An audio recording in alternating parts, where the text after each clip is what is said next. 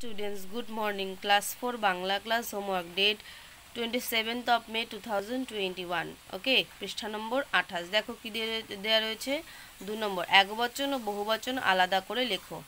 এখানে কিছু শব্দ দেওয়া রয়েছে, সেখান থেকে এক বচন আলাদা করে এখানে লিখতে হবে, বহু বচন এখানে লিখতে হবে। ঠিক আছে?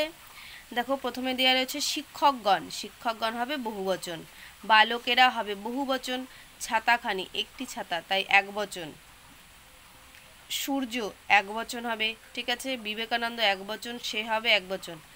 তারা, তয়কার বসন তারা। তারা অর্থ এখানে তাহাদিগ, তাই তো?